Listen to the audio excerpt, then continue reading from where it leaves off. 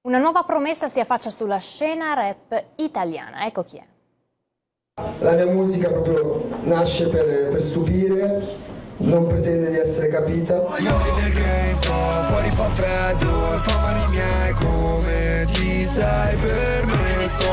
Parla dell'auto su. Fosse nato qualche decennio prima, forse Mario Molinari sarebbe stato un cantautore della scuola di Genova, la sua città. Tutta genovaliane, filigrana, cerbottana, ruote dell'arma,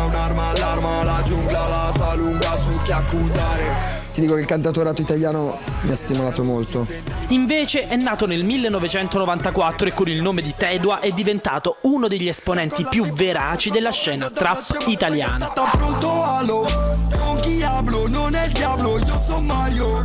L'italiano, pizza e mafia, ma fa il bravo. Milano la giungla bo- Il suo nuovissimo album Mowgli, il disco della giungla, racconta la voglia di riscatto di chi, come lui, è nato nel degrado di una periferia. Distinzione per la precisione è una restrizione nei quartieri in cui l'istituzione lascia gli abitanti alla legge del più forte. La giungla urbana è un concept dell'hip hop da sempre. Ti spaccio, se che non spacco Possiamo ritrovare nel senso della giungla un po' il eh, sapersi adattare all'ambiente circostante, ecco questo.